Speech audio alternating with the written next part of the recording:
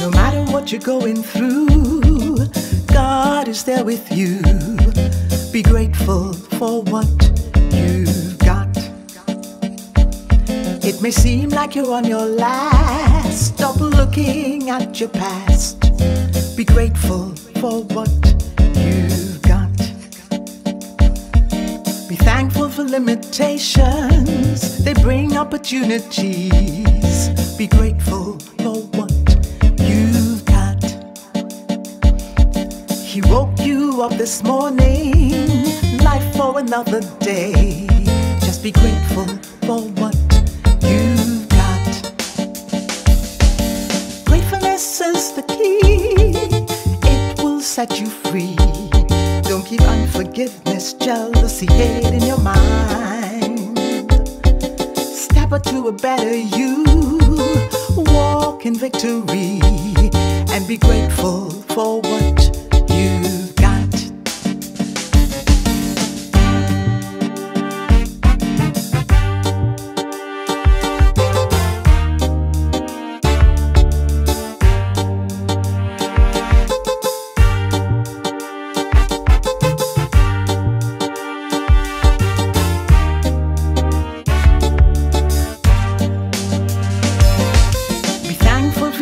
challenge, it will build you up with strength.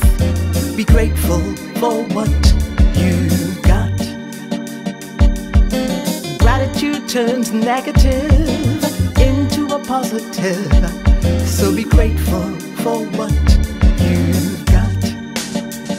Stop complaining and fussing. Move that out of the way. And just be grateful for what you've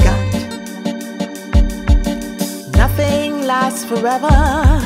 The healing will come. Just be grateful for what you've got. Gratefulness is the key. It will set you free. Don't keep unforgiveness, jealousy, hate in your mind. Step up to a better you. Walk in victory and be grateful for what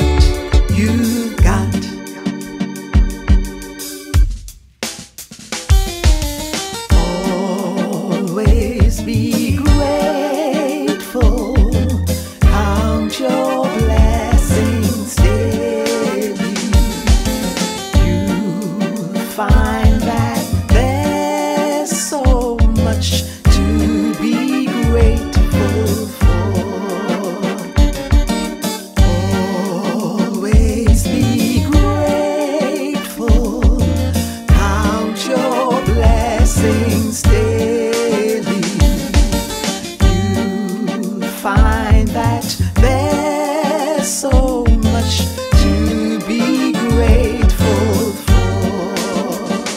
So now humble yourself in Jesus. Give him all your cares. Be grateful for what you've got. He will feed you from his fountain that never will run dry. Be grateful for what